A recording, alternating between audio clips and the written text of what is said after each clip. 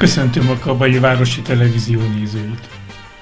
Mai műsorunk egyfajta tisztelgés Kaba városának kultúra kedvelő és kultúra teremtő közössége előtt. Környezetünkben kevés ország méltatja, emlékezik kultúrájára, tartja becsben szellemi értékeit, mint hazánk Magyarország. Az is tény, hogy bár számunkra új becses, de lélekszámát tekintve alig 6000-es városunkban kimagasló kulturális eredményeket írtunk el. A Magyar Kultúra Napja alkalmából műsorunk egyfajta büszke főhajtás városunk kultúrája hagyományainak önkéntes, amatőr ápolói előtt. Kérem, tekintsék át mai ajánlatunkat.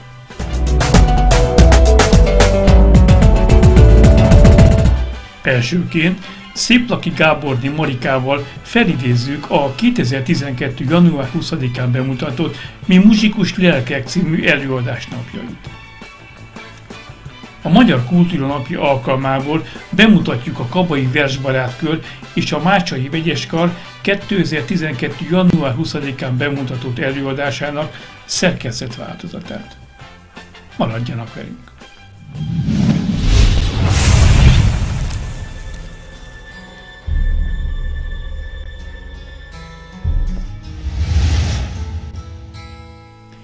2012. január 20-án a Kabai Mácsai Sándor Művelődési Ház színpadán a Magyar Kultúra Napja alkalmából Széplaki Gáborné vezetésével ünnepi műsort mutattak be. Most megkíséreljük felidézni a 9 évvel ezelőtti napokat. Mai műsorunk ünnepi műsor, hiszen a kultúra napját ünnepeljük. Kicsit furcsa ez a nap, hiszen valahogy úgy kell megünnepelnünk a kultúra napját, úgy kell megemlékeznünk a kultúra napjáról, hogy ahogy nézőink látják, teljesen üres nézőtéren vagyunk. Ha már itt tartunk, hogy üres nézőtér, meg kell, hogy köszönjem a művelődési háznak, a Mácsai Sándor művelődési háznak a vezetőségét, hogy helyet ad nekünk ezeknek a beszélgetéseknek. Marika, megkérem, hogy addig, amíg beszélgetünk, addig tessék már levenni ezt a maszkot, hiszen hárman vagyunk összesen egy ilyen nagy helyiségben, tehát igazából nem érheti szó a háziait. Ünnepi műsorról beszélünk. Az ünnepi műsorban egy 2012-es felvételt elemenítünk fel, ahol a Kabai Nyári Színház és a Versmondó Klub egy közös előadást tartott. Hogyan jött létre ez az együttműködés? Nem tegnap volt, 8 évvel ezelőtt, sőt, most már 9. Igazából nem nagyon tudom, hogy hogy jött létre, valahogy egyik hozta a másikat. Egy kicsit helyesbítenék, mert nem a nyári színház, hanem a vegyeskar vett részt ebben a... Bár átfedések, átfedések is vannak, igen. mert ugye Ibolya, Szuromi Ibolya, azt hiszem ebben a műsorban, sőt, még a táncosok közül is Borbély Lacika szerepelt benne, tehát az az igazság, hogy mi, mint versbarátkör, nem tudunk énekelni, illetve nem mindegyikünk tud énekelni. És akkor még működött ez a vegyeskar, és akkor az egyik Koroknai Icuka tagja volt ennek a vegyeskarnak, és megkérdezte a tagokat, akkor volt a Pali a vezető, és, és nagyon kedvesek voltak, hogy segítettek nekünk ebben. És így jött létre. Ez az együttműködés ez soha nem egyszerű, hiszen akkor, mikor többfajta, többfajta érdeklődési körül együtteseket, mert kultúra, persze a kultúrának elég sok része van, elég sok ága van valóban, de azért, azért mégis nem olyan egyszerű egy ilyen csapatot vezényelni, ilyen vegyes kart vezényelni. Mondjuk igen, igen, legyen mondjuk egy vegyes kart vezényelni. Hát ön, ön, mint rendező is nagyon nehéz kihívás előtt állt. Jó kis csapat vagyunk. Mi a versbarátkör. Nem kifejezetten egyedül irányítottam, mindenkinek, mindenkinek kértem a véleményét, kaptam a véleményét. Nem mondom, hogy könnyű volt időpontot egyeztetni, de minden pillanatát élveztem a próbáknak is, a változtatásoknak is, meg egyáltalán a hangulatnak is. Volt egy hátsó szándékunk is, ha csak simán egy verses műsorral állunk ki, akkor lehet, hogy nincs nincs tele a nézőtér, és akkor így be, beloptuk tulajdonképpen ezeket a e, slágereket, illetve volt köztük olyan, mert ez egy Nadányi Zoltán műsor volt, nagyon szeretjük őt, szinte minden évben foglalkozunk vele valamilyen szinten, tehát az ő versei, meg az ő sanzon szövegei is helyet kaptak benne, meg ami ugye egy kávéházban játszódik, egy elképzelt kávéházban, és próbáltuk azt a hangulatot megteremteni, ami úgy gondolom, hogy sikerült. Mind a mai napig úgy emlegetik a versbarátaim ezt a műsort, mint a, a legkedvesebbet, ami, ami számukra emlékezetes volt. Mindegyik nagyon szívünkhöz nőtt, de ez, ez azzal, hogy, hogy másokat is be tudtunk vonni azzal. Még volt egy kísérletünk egy évvel később, női szerzők műveit adtuk elő, és az pedig egy parkban játszódott. Tehát a verseket is nők írták, nőkről szóltak, meg hát persze a férfiakról is nyilván, hiszen a kettő együtt jár, az, az mégsem nőtt annyira a szívünkhöz. Kedveltük, de ez az műsor, amit nem tudom, Emesének hogy eszett erre a választása, hogy megérezte, hogy ez, ez volt az a mi szívünk csücske, de szerintem jól választott, mert benne van minden, amit általában szeretnek az emberek. Bár a versre nem mondhatom, hogy annyira szeretik, de így, így fogyasztható volt talán. Marika életének az egész pályafutása egy, egy vegytiszta, nyugodtan mondom, egy vegytiszta értelmiségi pályafutás valahol mindig a kultúra környékén mozgott. Ennyi év tapasztalat után elég sok mindent megért, hiszen teljesen megváltozott a rendszerváltásnál, minden az égvilágon megváltozott, és olyan gyors átalakulások voltak, hogy szinte követhetetlen. Majd elmúltik majd 20-30 év egy másik generáció, szerintem ezt még sokáig fogják elemezni. Ön hogyan látja ezeknek a változásoknak a tükrében, a kabai eseményeknek a tükrében, ami valljuk be őszintén azért egy alig 6000-es kisvárosban, azért nyugodtan mondom, hogy példanélkül áll. Beszélhetünk itt a kabai nyári színházról beszélhetünk a kabai énekeseknek, a különböző, a különböző dalosoknak a hihetetlen produkcióiról. De a, sport, de a kultúrának egy másik ágáról és a sportról se feledkezzünk meg, hiszen nagyon sok sportágban igen jelentős sikereket értünk el. Ön hogyan látja?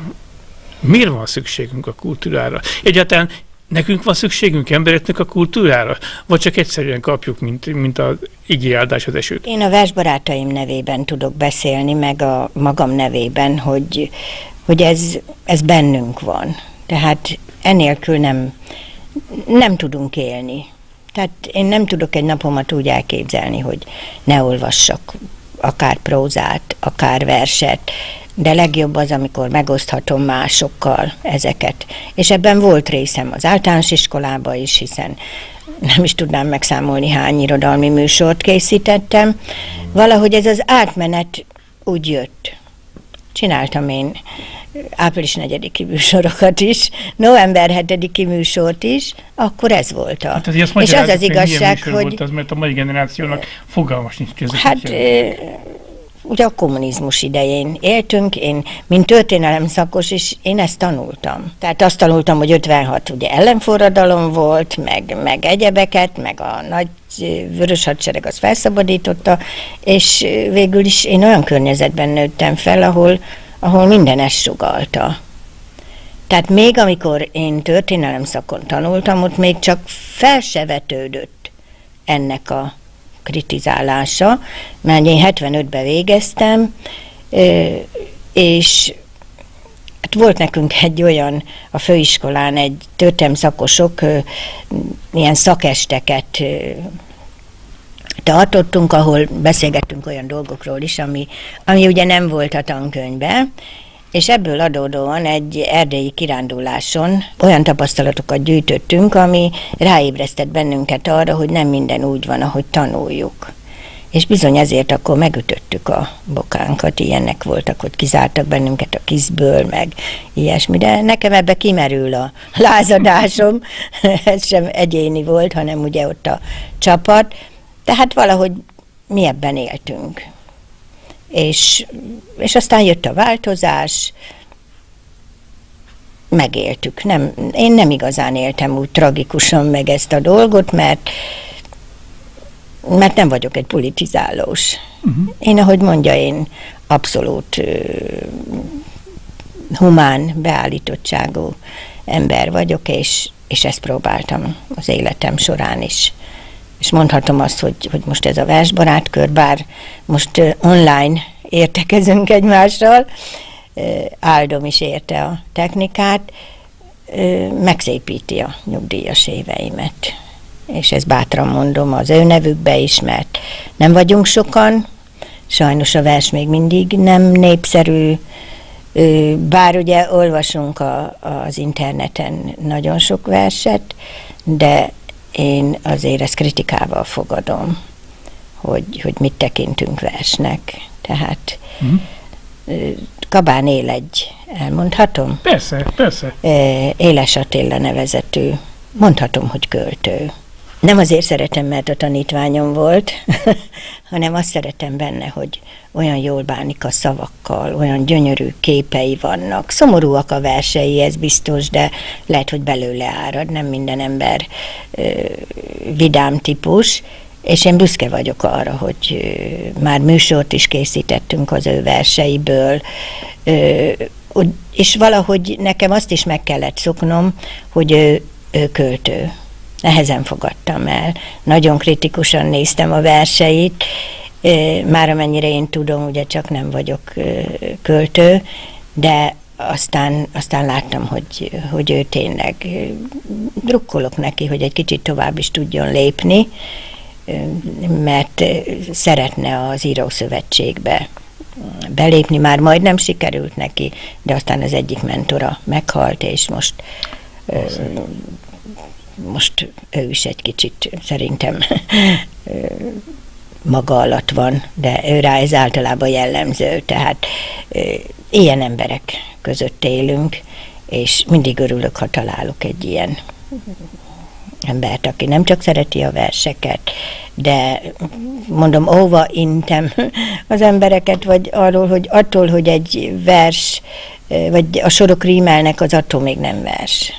Tehát ezt, ezt olyan nehéz megérteni, megértetni azokkal, akik, akik csak azt gondolják, hogy na, egy gondolatot rímekbe foglalok, és abból vers lesz.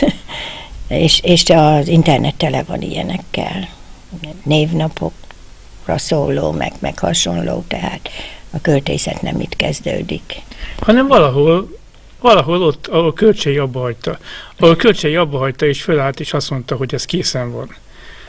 Ugye ezen a napon 22-én akkor fejezte be a himnusznak a megalkotását.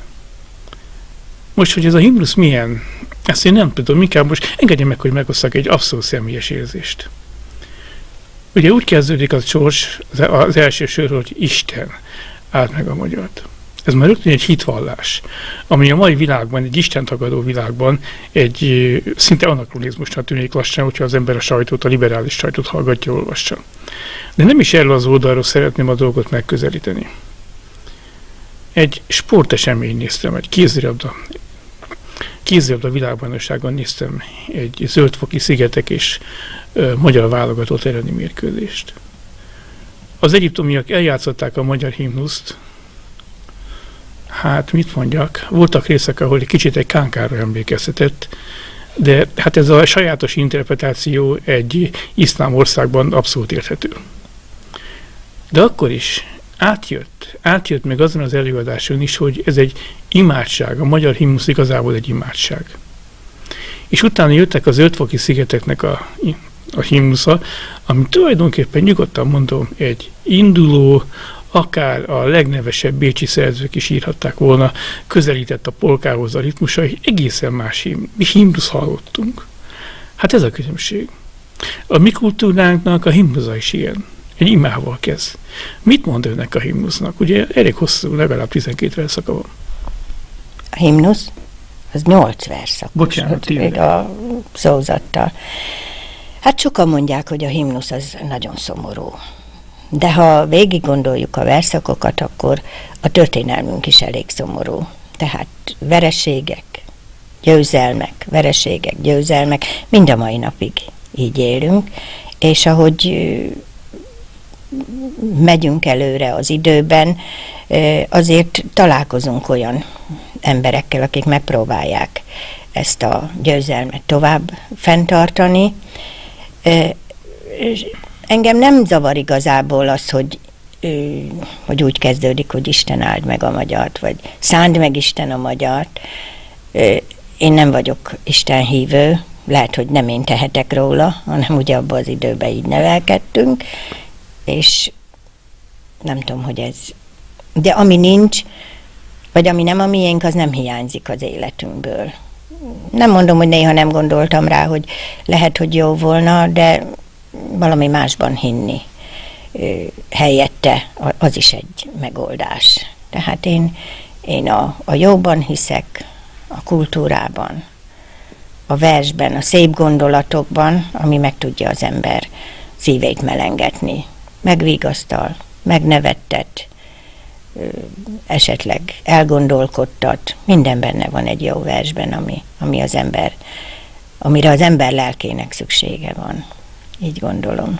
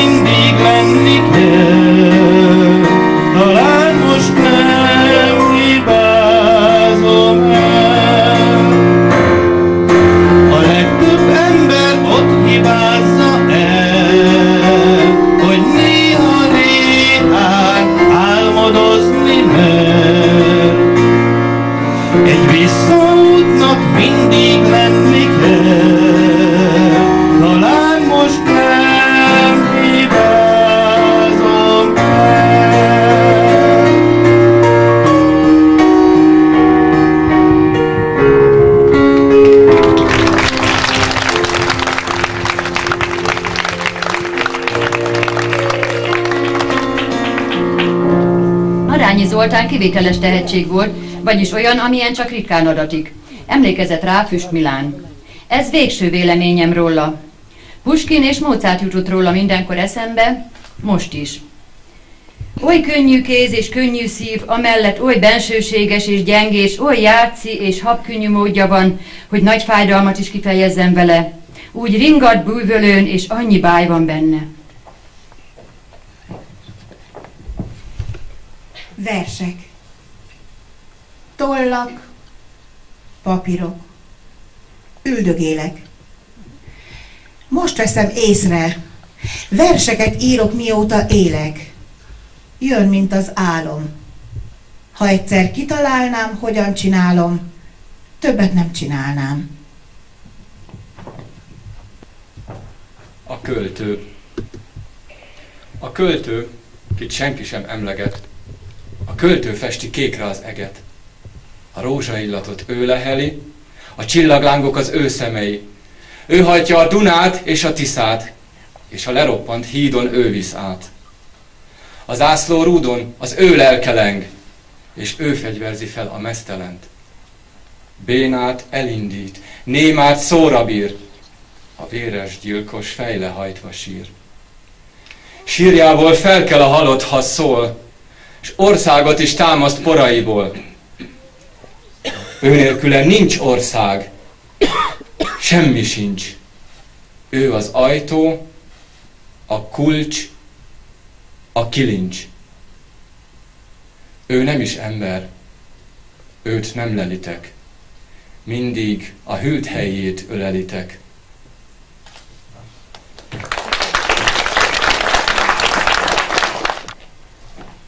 A versek nem hiszik. A versek nem tudnak róla semmit. Azok még most se vállalják a vádat. Én elhiszem, de nem hiszik a versek, csak fájdalom van bennük és imádat. Én a szemedbe mondom, de a versek azok nem mondják a hátad mögött se. A szájuk barnám, nem mondják utánam, és nincs hatalom, ami rájuk kösse. Pedig ők tudják jobban, okosabbak, mint én. Te még nem érted ezt a dolgot. Tőlük tudtam meg azt is, hogy szeretlek. Az egyik oly különösen mosolygott. A vers, ha tudnád, azt nem én csinálom. Az megvan. A költő, ahogy neveznek, a költő senki, semmi. Csak fogadja a verseket, akik hozzáeveznek. Honnan is jönnek? Örökké valóság hajósai ők, esti szürkületben érkeznek lassan, hallgatak deregjén. Futok elévük, kérdezem tőlük ilyetten, mit tudnak rólam, és mit tudnak rólad. Ott az igazság, ott az ő szemükben, az ő szavukban. Ők nem tudnak róla, ők nem hiszik el, hogy rossz vagy és hűtlen. thank you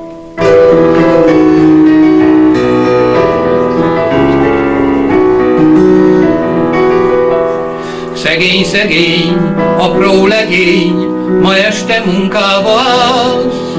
Mókáz neves, hogy pénzt keres, ha kell a fejedre állsz. Ma még tiéd, mezős a rég, ma még van játékszeret, de este már a munka vár, s kezdődik az életed.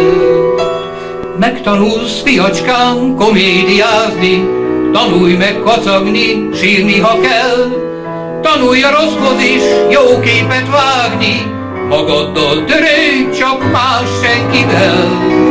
Ne higgy a barátnak, hű szeretőnek, ne higgy az eskünek, ne higgy soha. Tanulj meg, fiacskám, komédiázni, mert minden, minden csak komédia.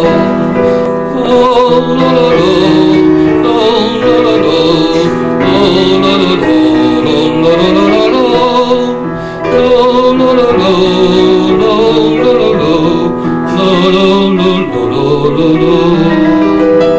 nem voltam én mindig szegény, jó anyám gondol nevel, ágyam fölött ő őrködött, altatódat énekel. Múlt az idő, és jött a nő, én hittem neki után, cirkuszba volt, s ott lovagolt, s én a cirkusz után. Tanulj meg, fiacskám, komédiázni, tanulj meg kacagni, sírni, ha kell. Tanulj a rosszhoz is jó képet vágni, magaddal törődj, csak más senkivel. Ne higgy a barátnak, hű szeretőnek, ne higgy az eskünek, ne higgy soha. Tanulj meg, fiacskám, komédiázni, mert minden, minden csak komédia. La la la la, la la la la, la la la la, la la la la la. La la la la, la la la la, la la la. Ő volt a fény, éltem egény, akár egy oltári szent, de jött egy más komédiás, ő most a másikkal ment. Anyuska volt, anyuska nincs, anyuskát cserben hagyott, de jó apád, vigyázz majd rád, ő lesz az ő angyalod. Tanulj meg, fiacskám, komédiázni, tanulj meg kacagni, sírni, ha kell, Tanulj a rosszhoz is jó képet vágni, magaddal törődj, csak más senkivel. Ne higgy a barátnak, ő szeretőnek, ne higgy az eskünek, ne higgy soha. Tanulj meg, fiacskán, komédiázni, mert minden, minden csak komédia.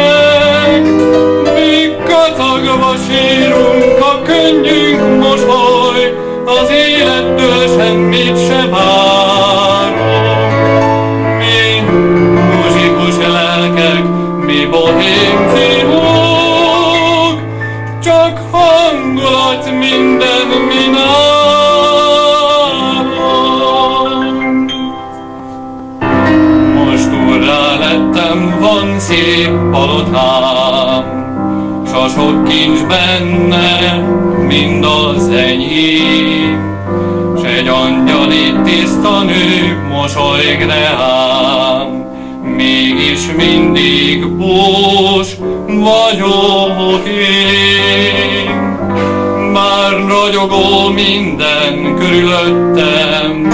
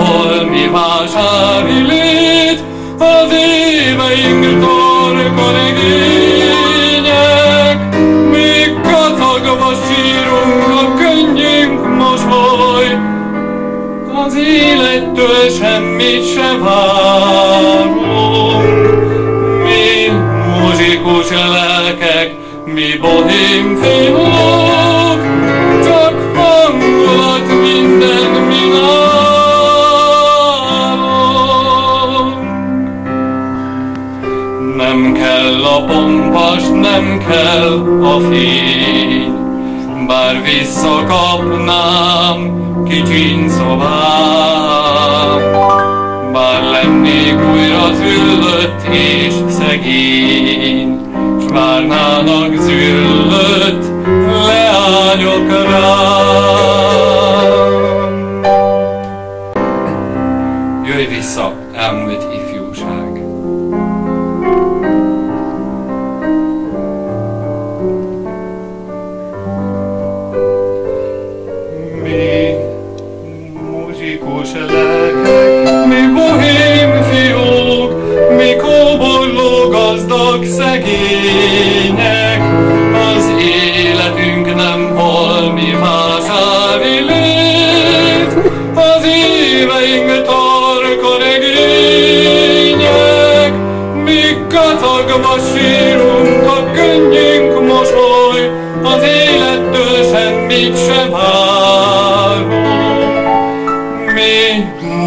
Muzsikus lelkek,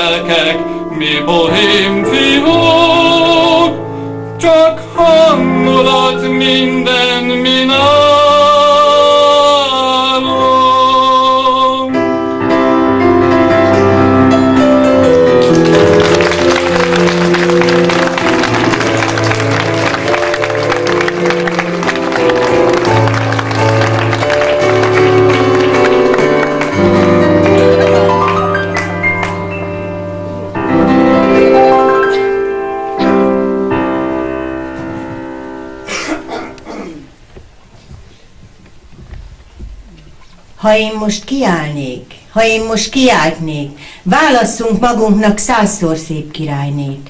Százszor szép királyné fellépne a trónra, szólnia se kéne, a szépsége szólna. Bokáját verdesné a haja, ha lépdel, azzal takarózna, és semmi egyébbel. Szórná a királyné a mosolya pénzét, beleszépülnének a rútak, ha néznék. És az új országban víg volna a népség, nem volna csak egy gond, egy törvény, a szépség. De azért a rút is helyet kapna benne, ha talán a széppen rokonsága lenne. Aki szépen ácsol, aki szépen épít, aki a világon valamit beszépít. És a rútak rútja, rútabb, mint a béka, az is helyet kapna, ha szép az árnyéka. Most még a szépségnek el kell bukni némán. Ha meg lesz az ország, gondoljatok én rám. Én rám, aki mindig szép országba vágytam. és meg kellett halnom ködös Rútországban.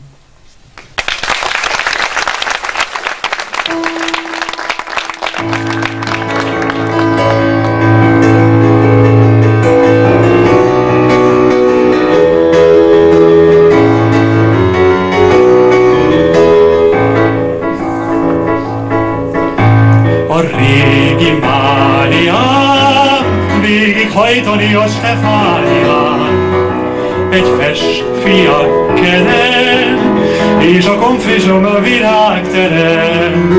De szép platános út, langyos esti szél a fülembe súg. Ragyoghat napsugár, ragyoghat holtsugár, egy szép fiak keren, vidám a.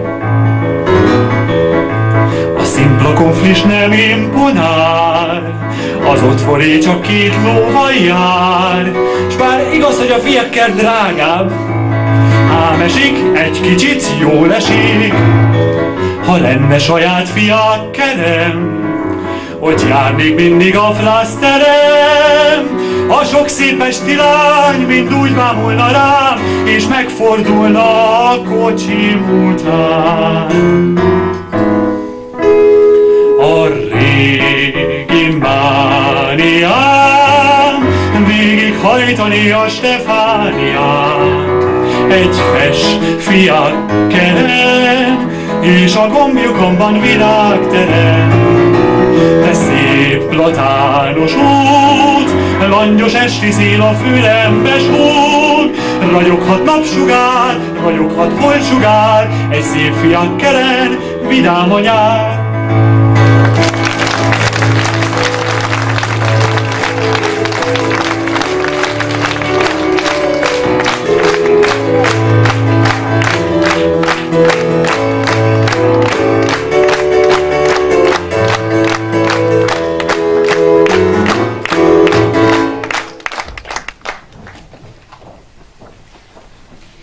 Nadányi már 16 éves korában tanuljelét adta gúnyoros kedvének, csúfolódó hajlamának. Éles elmélyű, logikusan gondolkodó, humorérzékkel megáldott, nyelvi és logikai játékokat kedvelő fiatalember volt. Szatirikus hajlandóságát növelte a családjának és közvetlen környezetének életvitelében tapasztalt állandó képmutatás. Figura. Tavaszi dél, teli a pacsor. Az ágak közt madárkaracsol. Lilahásfák idei pázsik, ragyog az égbolt szabadon, egy lány olvasgat a padon, a térde látszik. Mellette egy idegen úr bajusza őszes, szeme szúr, megnézi, mint hogy odalát a térd ellipszis vonalát. Aztán tekintetét elkapja, és tátog, és pirosveres, és néz a földre, fákra, napra, le és fel. Vajon mit keres?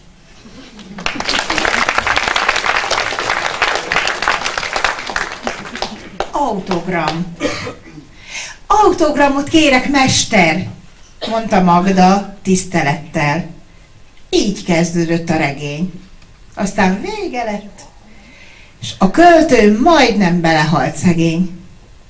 Már sírverset ír alélva, akkorán belibben Éva, Magdánál is szebb teremtés, frizurája is szerencsés, és felcsendül ajakán, Mester, autogramot kérek, és Amannak a regénynek most lett vége igazán.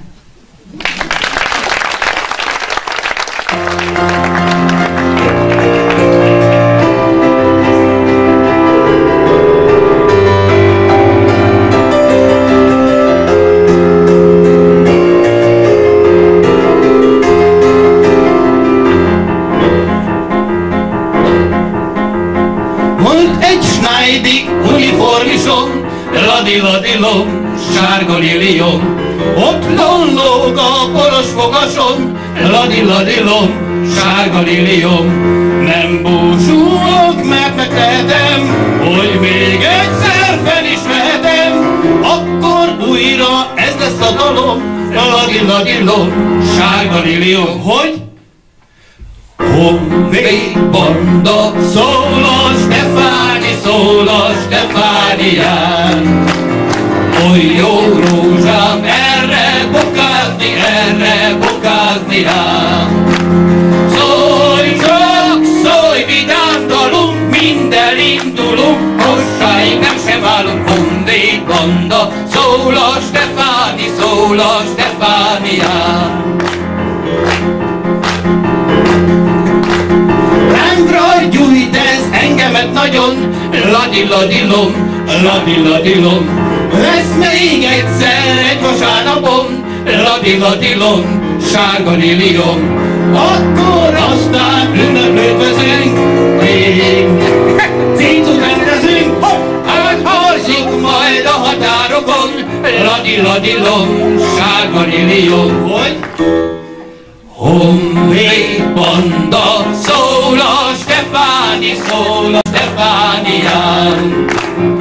Oly jó rózsám, erre bokázni, erre bokázni ám. Szólj csak, szólj vidám dalunk, minden indulunk, a hazáig meg sem állunk. Honvéd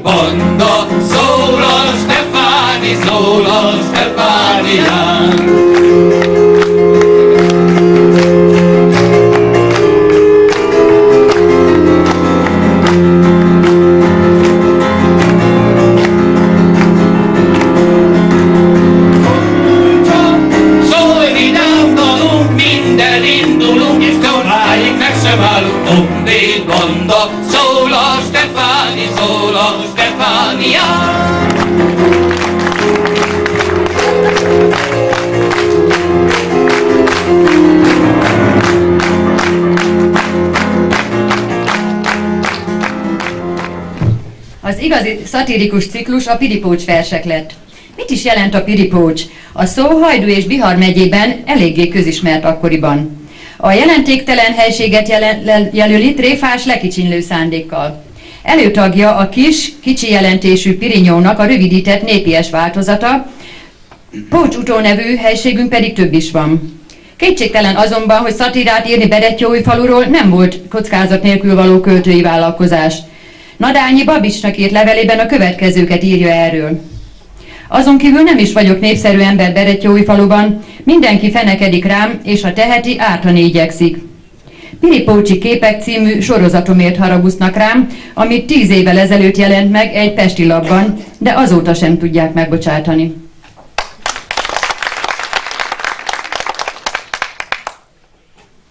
Piripócs. Bocsáss meg, Piripócs, szeretlek. Könnyeiből támadt a só, amelyel marlak, de szeretlek. Fájon fonódik ez a szó, gúnyképeim köré keretnek. Faluváros. Ez a falu város tevett. Egyszerre kapta be. Ho-ho, megjárja az, aki mohó. Most egy kicsit furcsán nevet. Bizony csehül van. Orra vérzik, feje fáj, mm, gyomra émelyek. Természetesen rosszul érzik magukat benne némelyek. Mi mindent nyelt a kis mohó, aszfaltot, aztán nagy csomó lámpát, polgármesteri széket, napilapot, vízvezetéket, ért szobrokat, egymást előző autókat, rangos utakat. Csuda, hogy torkán nem akadt. A fő utcája a nyelőcső, hol a gombolc, azaz a város, az óriás falat besiklott. Ki is tágult az utca itt-ott, ami egyáltalán nem volt káros, sőt, üdvös is. Más baj van itt. Ugyanis az, hogy ez a helység régen, mielőtt város nem nyert még, nagyon sok bort szívott magába. Bort, sört vegyesen. Amikor aztán gomboltot is nyelt rá éhomra, persze, hogy felfordult a gyomra. Ez a válság, ez látszik arcán. Egyébként rendes volna, formás, de eltorzítja meghasonlás. Szegény falu, én sajnálom őt. Azt sinni, hogy város tevett, és túl sokat nyelt azelőtt. Szőlőlevet, komlólevet van aztán másba is igaz. Mit nem bocsájthatok meg én? Bár nem hibás. Tudnélik azt, hogy engem is lenyelt szegény.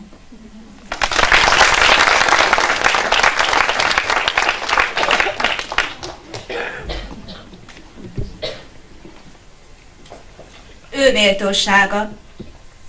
Mosolyt vegyít a méltóságba, és méltóságot a mosolyba. Miért gyógyszerész a méregdrága szert, oly kimérten adagolja kegyességét ő méltósága. Szívét, szigort soha se túloz, akár alattasára förmed, akár tréfálgat. Súlya könnyed, viszont a könnyedsége súlyos. Csak az őrült meri tagadni, vagy holmi laffirkász briganti, vagy aki irigykedve cselsző, hogy Piripolcsor ő az első. Csupán az bántja, hogy a város poros és sáros és homályos, sok benne a paraszt cekér, és itt is, ott is véget ér. Nem is kezdődik el sehol sem, mert Piripócs nagyon kicsi, és akit sokra felviszi, az, az is picurka, mint a borszem. Kivéve persze-persze őt, ki Piripócs fölében nőtt. Fáj látni őt kissé meretten, a hozzá méltatlan keretben. Fejét az utcán fennen hordja, mögötte meg a marha csorda. Egy úton jár, gondolj csak arra, ő meg a marha. Amellett ebben nagy veszélyek rejlenek, hogy erről beszéljek. Mert a csapatból kikitör, és járdára csap fel az ökör. És a Mélcsás úr után csatangol. És aki szembe jön olyankor, nem látja meg mögötte rögtön az ökröt, csak a szarvakat. És azt hiszi, nem is az ökrön, hanem, de nem, ezt nem szabad.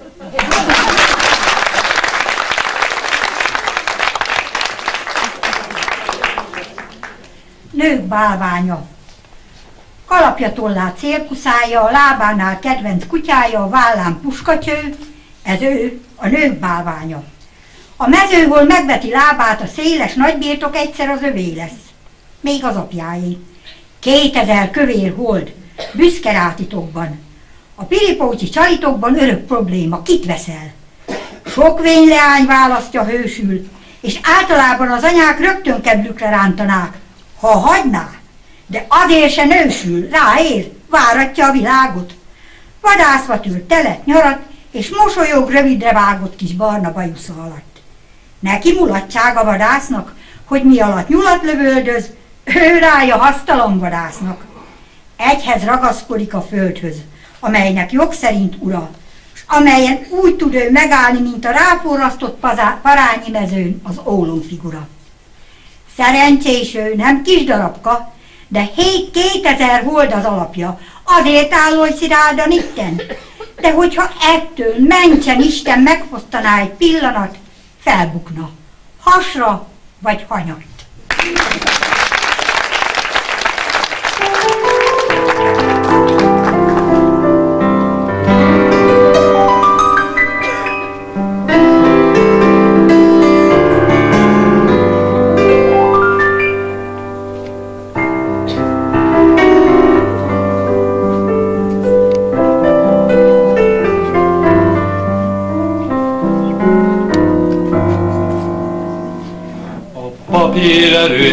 Most hol a kezembe, és semmire semmi nem jut az eszembe, mert hazudnom kéne és hazudni fáj, de sajnos oly hatalmas úr a muszáj. Ha túl lesz az első kiábrándulásom, olvass el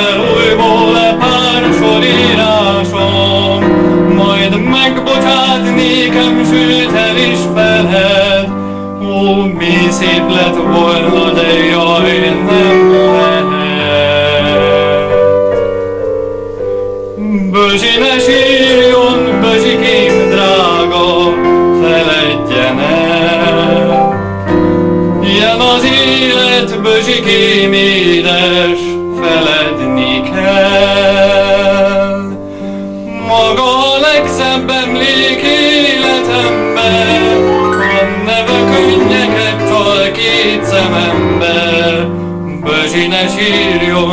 sírjon, Bözsikém drága, feledjen el. A szív szívem én nem vagyok méltó magához. Jobb, ha ma megírom, mint holnap, átkoz.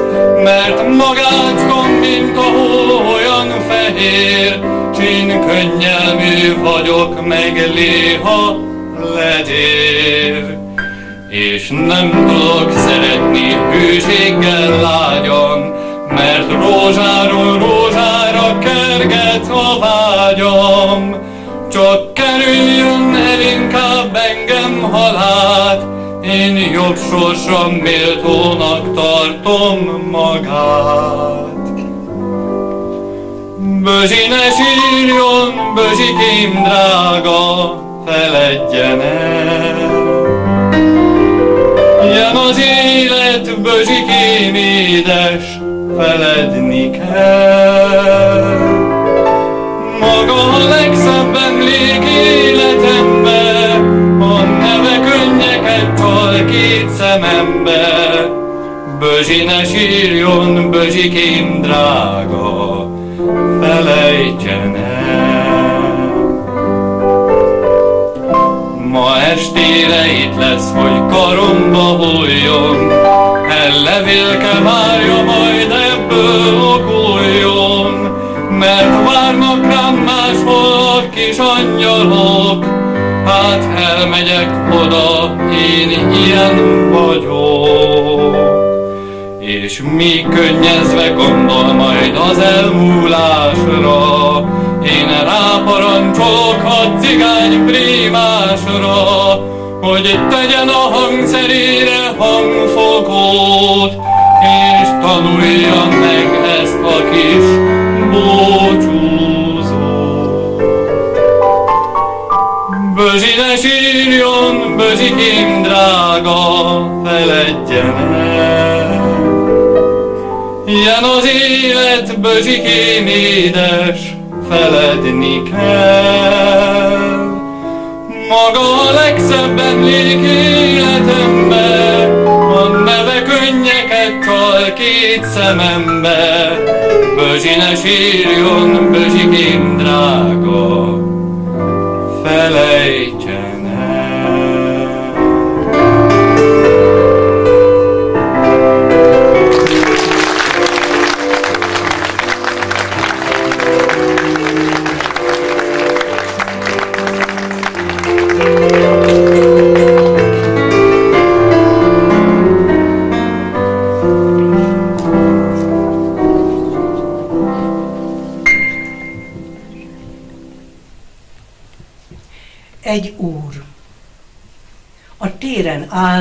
járda sarkán egy úr, és pesti lapot olvas. Búzakalászos, tarkatollas kalapját, félre csapta nyalkán. A fensőségnek egy nemével áll útban, és nem csak szemével, szájával is, melyet kitárt, habzsolja a politikát. Elérvén olvasmánya végét, a lapot összehajtva négy rét, és zsebre gyűri. Mára kész. Most a toronyórára néz, negyed négy. Már most mit csináljon? Hova induljon? Meddig álljon? Vasárnap nincsen hivatal, szabad a jobb kéz és a bal, szabad az ember, mint a madár, de hát mit csináljon? Ebatta. A gőzöst az imént fogadta, utána több nem jön ma már. A könyvvel szemben undort érez. Levelet a múlt vasárnap írt, és elhasználta a levélhez az utolsó darab papírt. A kaszinóban, az ivóban nincs senki, csak legyek csomóba.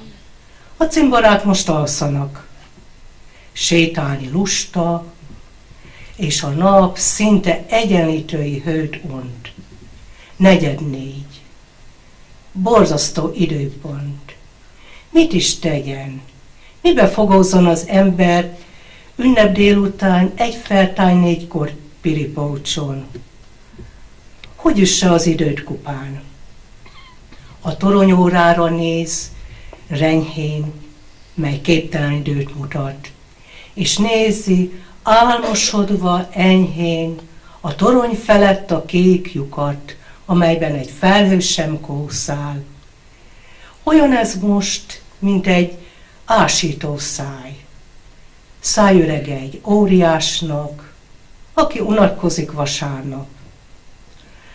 Ott áll szemközt az óriással, aki rásít, óriásít, és az óriásra visszaásít egy óriási ásítással.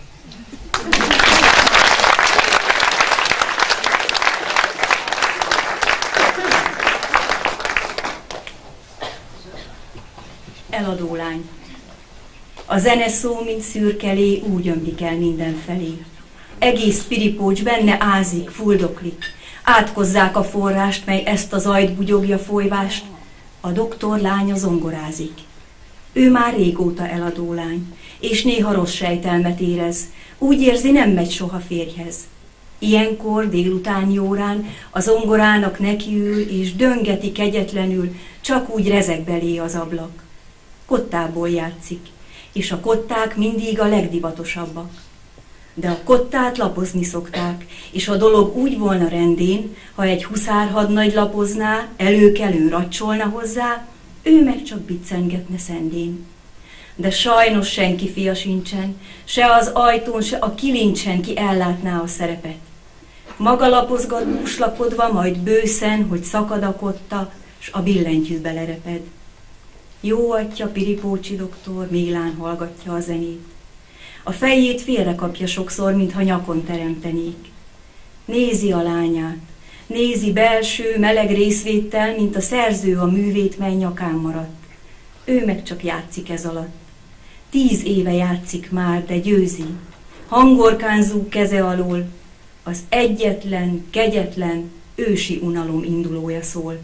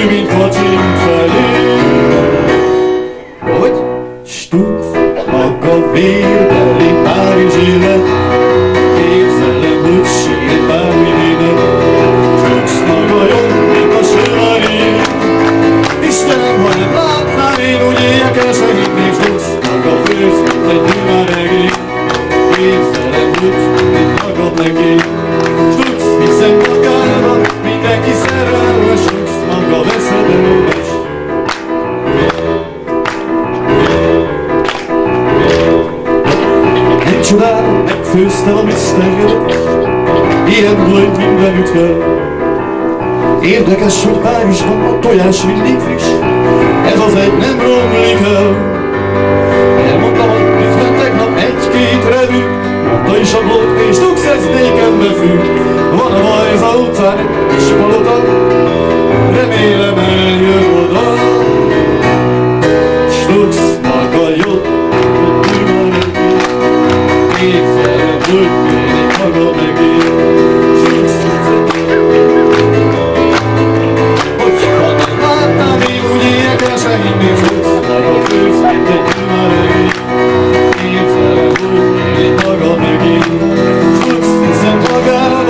mindenki szerelmes, Stux maga veszedelmes.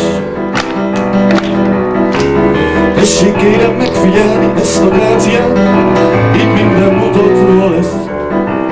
Hogy forgatom például a sétabálcikát, akár a Prince of Perth.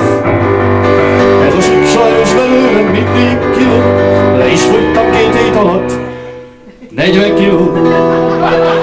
Színházban vagy Orfeumban, bárhol látnak ők, üldöznek a drága nő. És elfelejtettem a végét, hogy stut maga vételi Párizs élet. Képzelem, hogy sír bármi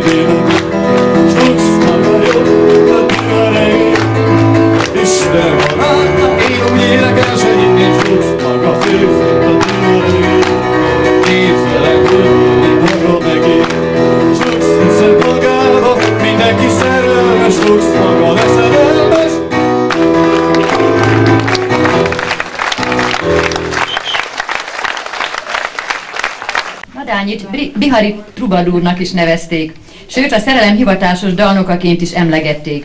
Szerelmes verseinek egy része ugyanis nem a szerelem folyton változó állapotát, hangulatát írta le, hanem a szerelemnek, mint olyannak, a költő életében betöltött sorsdöntő szerepét variálta. Szép nő feküdt a homokon hanyatt. A bőre villogott. Telt és kemény formáira sejem trikó tapadt. Soká feküdt így, keze a szemén, és meg sem mozdult. Csak pillája rezgett, és a melle járt. Forró volt és igéző. Később felült, és nézte, van-e néző. Felállt, nyújtózott, ekkor volt a legszebb. A víz felé ment, utána néztem, büszkén és felhajzva. S hogy ellobogott, sokáig néztem még a homokot, ahonnan rám mosolygott teste rajza. A homokot lassú szél fújni kezdte, és lassan onnan is eltűnt a teste.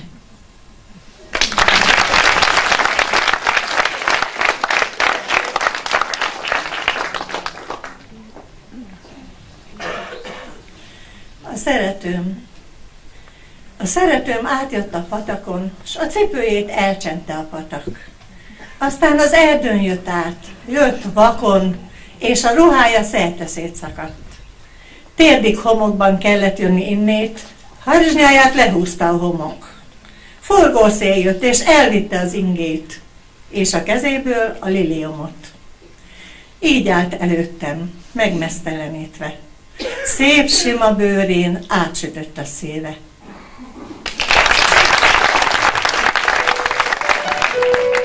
Ez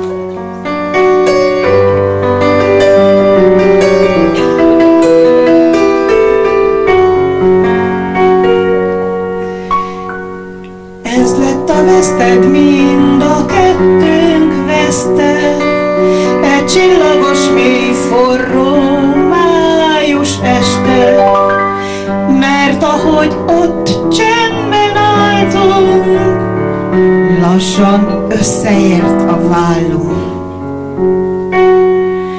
Váratlanul rohant reánk, vágyunk ez a furcsa láng.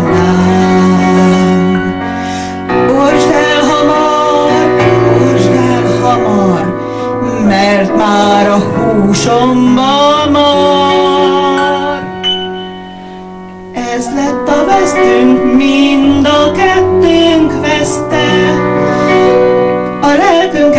forrott akkor este, mert ahogy ott csendben álltunk, lassan összeért a vállunk. Ez lett a vesztünk,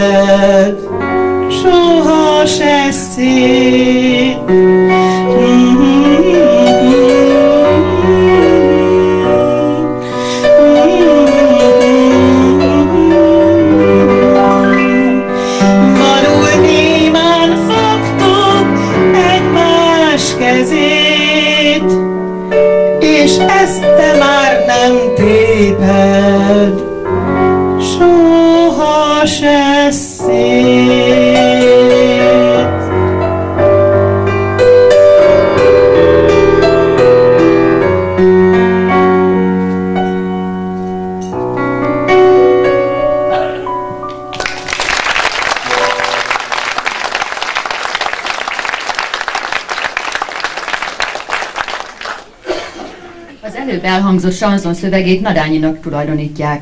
Hogy a valósághoz hűek legyünk, Zilahi Lajos Nadányi két költeményét összekombinálva hozta létre a slágerszöveget, amit Polgár Tibor zenésített meg, és Karádi Katalin énekelt a Halálos Tavasz című filmben. Nadányi nem vállalta a szerzőséget, nem engedte nevét feltüntetni a filmen. Ez a két költemény következik.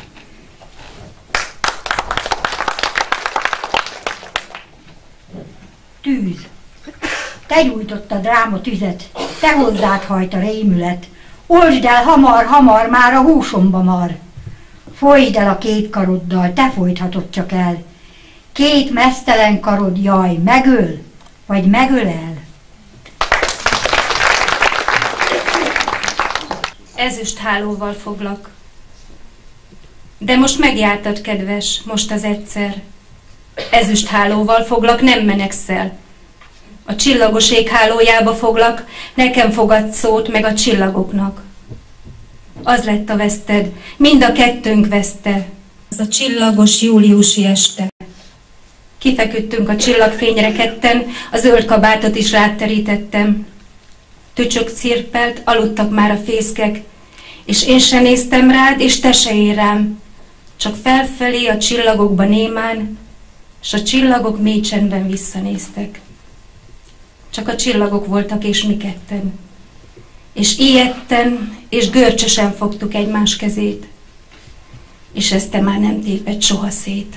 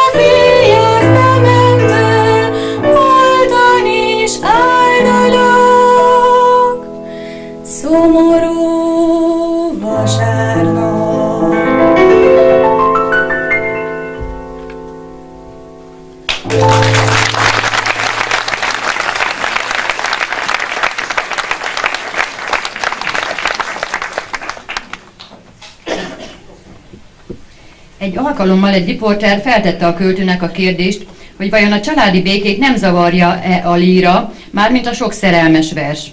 Nadányi szándékosan bagatelizálni igyekezett a helyzetet, és képes beszéddel válaszolt. A költő, a lírikus olyan, mint a kalóz. A családja tudja, hogy amikor a családfő elmegy kalózkodni, akkor gondoskodik róluk.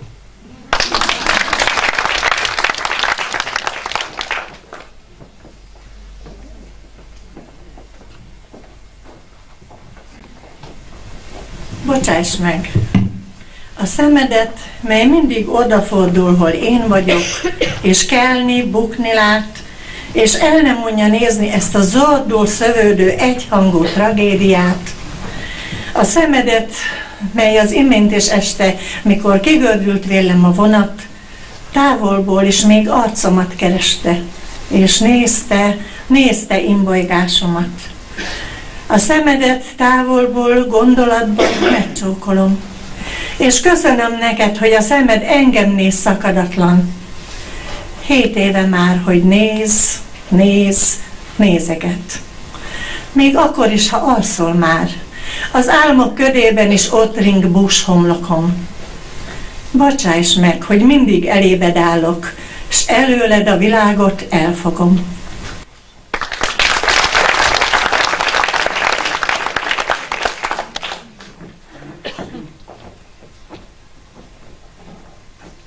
Évféli Zsoltár.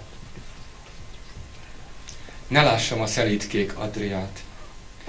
Ne lássam az örjönkbe hahotázó szurokszín tengert, sem a nagyvilág forgalmát, milliónyi árbót zászló díszében a mozgalmas kikötőket.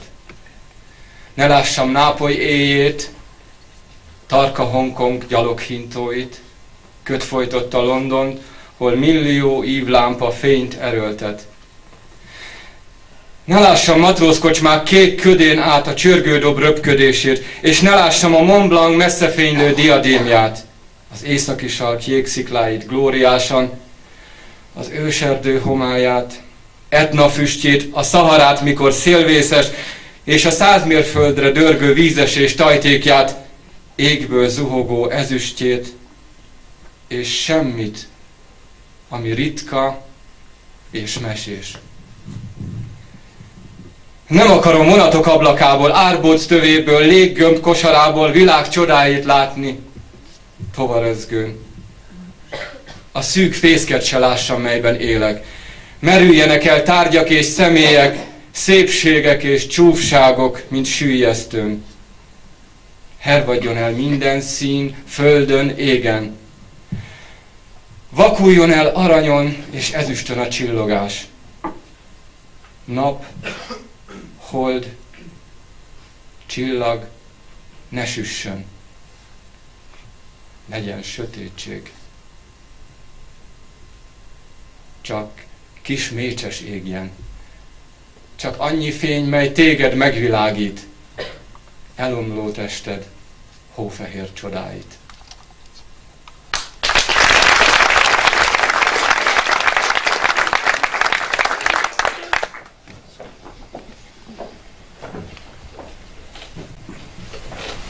Nem szeretsz. Megálltam ma a télben. Nem éreztem a szélben, hogy szeretsz.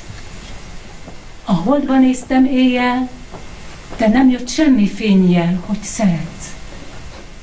A párnám sírva téptem. Nem súgta a sötétben, hogy szeretsz. Tudom már, kedves, hallod? Tudom, ha be se vallod, nem szeretsz.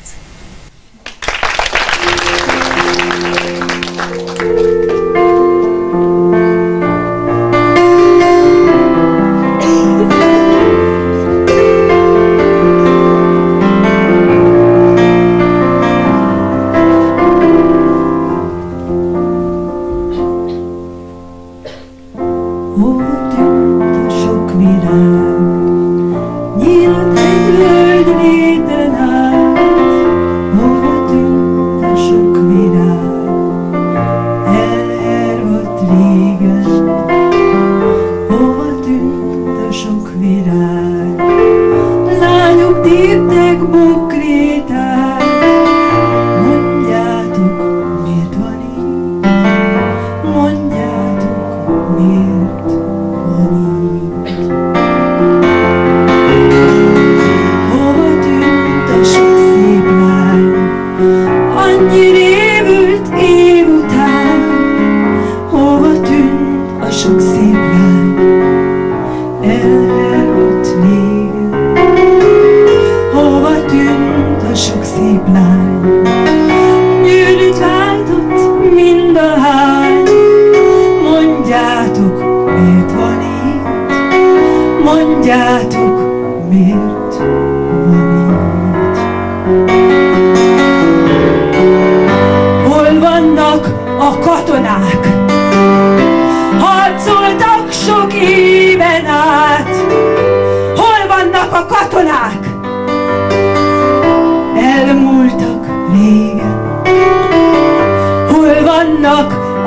A katonák?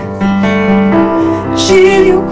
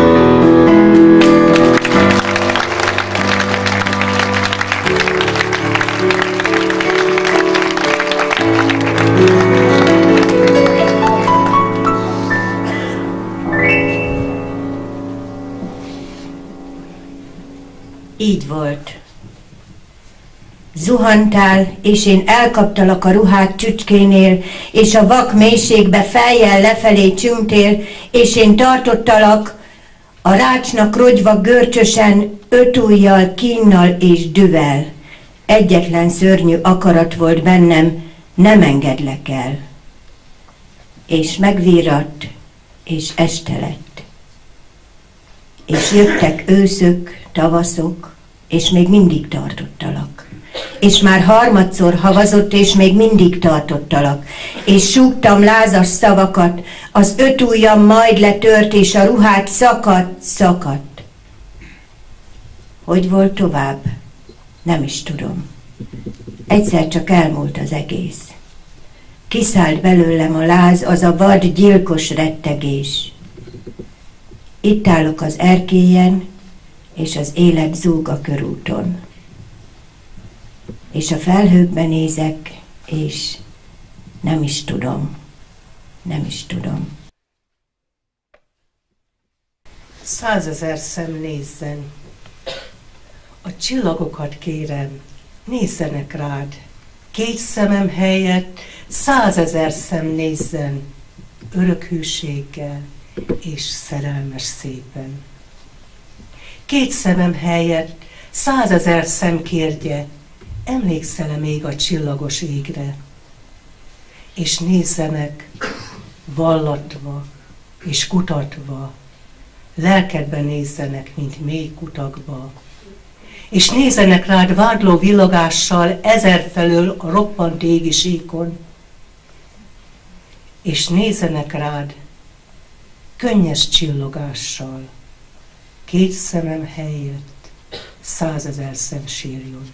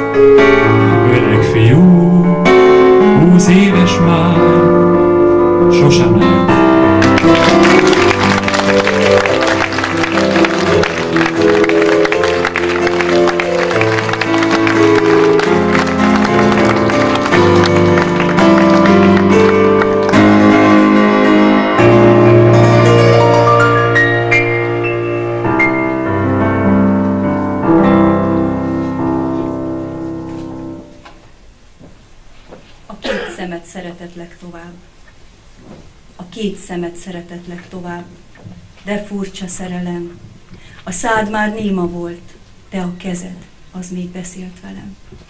A kezed már hideg volt, jéghideg, nem is adtál kezed, de a szemed még megsimogatott, nálom feledkezett.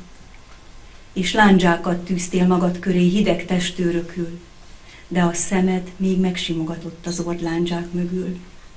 És ellebegtél, és csak a hegyes lándzsák maradtak ott, de a szemed még egyszer visszanézett, és mindent megadott. A két szemet szeretett legtovább, még mostan is szeret, még éjszakánként zöldes csillaga kigyúl ágyam felett.